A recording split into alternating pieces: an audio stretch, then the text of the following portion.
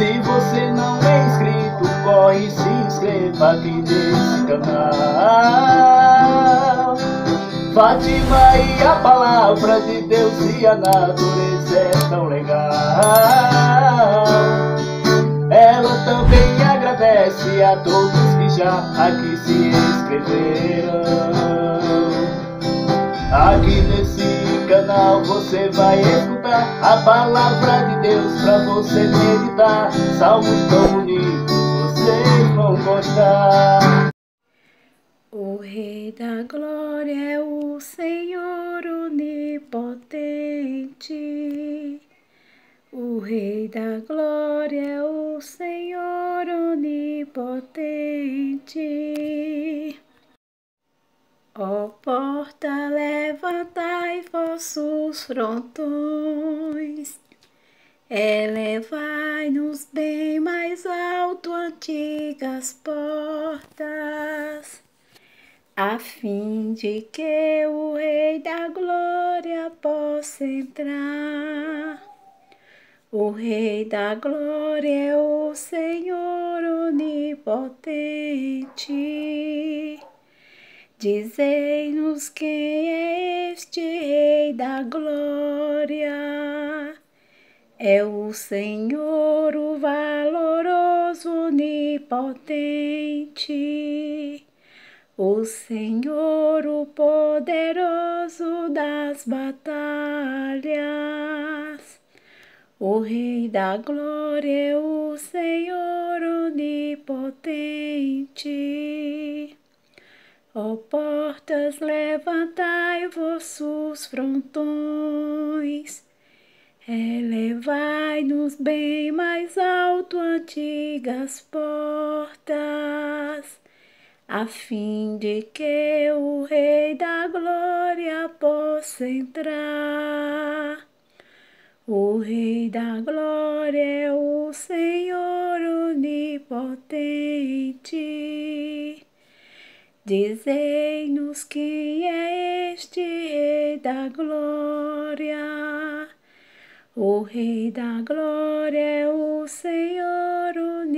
onipotente.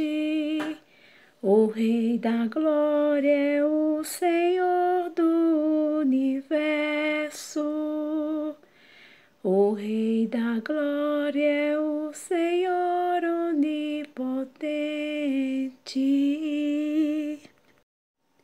2 de fevereiro A apresentação do Senhor. Evangelho de Jesus Cristo, segundo Lucas, capítulo 2, versículos de 22 a 40.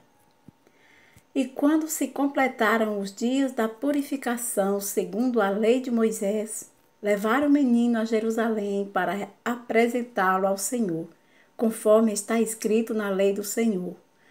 Todo primogênito do sexo masculino será consagrado ao Senhor. Para tanto, deviam oferecer um sacrifício em sacrifício um par de rolas ou dois pombinhos, como está escrito na lei do Senhor. Ora, em Jerusalém vivia um homem piedoso e justo, chamado Simeão, que esperava a consolação de Israel. O Espírito do Senhor estava com ele. Pelo próprio Espírito Santo, ele teve uma revelação divina de que não morreria sem ver o ungido do Senhor. Movido pelo Espírito, foi ao templo. Quando os pais levaram o menino Jesus ao templo para cumprirem as disposições da lei, Simeão tomou nos braços e louvou a Deus, dizendo: Agora, Senhor, segundo a tua promessa, deixas teu servo ir em paz, porque meus olhos viram a tua salvação. Pre preparaste diante de todos os povos luz para iluminar as nações e glória de Israel, teu povo. O pai e a mãe ficavam admirados com aquilo que diziam do menino. Simeão os abençoou e disse a Maria, mãe: Este menino será causa de queda e de reerguimento para muitos em Israel. Ele será um sinal de contradição, e a ti uma espada traspassará a tua alma, e assim serão revelados os pensamentos de muitos corações. Havia também uma profetisa chamada Ana, filha de Fanuel, da tribo de Azé. Ela era de idade avançada, quando jovem tinha sido casada e vivera sete anos com o marido. Depois ficara viúva e agora já estava com 84 anos. Não saía do templo, dia e noite servia a Deus com jejuns e orações.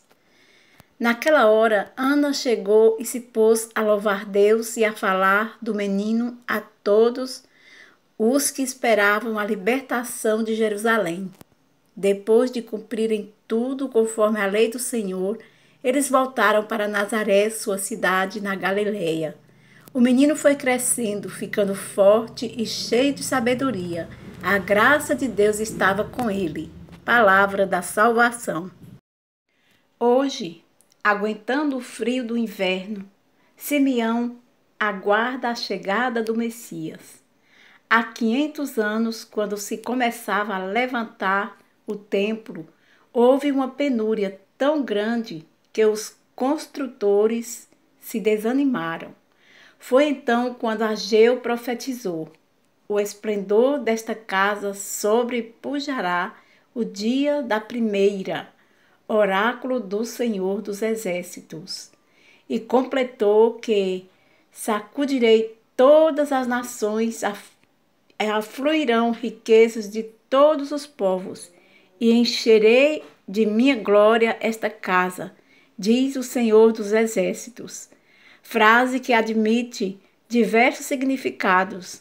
O mais apreciado, dirão alguns, o desejado de todas as nações, afirmará São Jerônimo. A Simeão fora-lhe revelado pelo Espírito Santo que não morreria sem primeiro ver o Cristo do Senhor. E hoje, movido pelo Espírito, subiu ao templo. Ele não é levita, nem escriba, nem doutor da lei. É somente um homem. Ora, havia em Jerusalém um homem chamado Simeão. Este homem justo e piedoso esperava a consolação de Israel, e o Espírito Santo estava nele. O vento sopra onde quer e ouves a sua voz, mas não sabes de onde vem, nem para onde vai assim é também todo aquele que nasceu do Espírito. Agora comprova com desconcerto que não se tem feito nenhum preparativo, não se vê em bandeiras, nem grinaldas, nem escudos, em lugar algum. José e Maria cruzam a esplanada levando o menino nos braços. Levantai, ó portas, os vossos frontões Erguei-vos portas antigas, para que entre o Rei da Glória. Clama o salmista. Simeão avança para saudar a mãe com os braços estendidos. Recebe ao menino e a abençoa a Deus, dizendo: Agora, Senhor, deixai o vosso servo ir em paz, segundo a vossa palavra porque os meus olhos viram a vossa salvação, que preparastes diante de todos os povos, como luz para iluminar as nações e para a glória de vosso povo de Israel. Depois diz a Maria: E uma espada traspassará a tua alma. Mãe, digo-lhe, quando chegue o momento de ir à casa do Pai, leva-me nos braços como Jesus, que também eu sou teu filho e menino. Com Simeão e Ana é toda a espera de Israel que vem ao encontro do seu Salvador. Jesus é reconhecido como Messias tão esperado, luz das nações e glória de Israel. Mas é também sinal de contradição.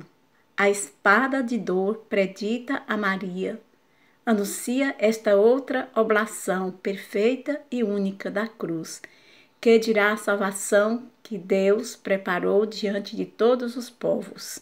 Louvado seja nosso Senhor Jesus Cristo. Fui lutar por um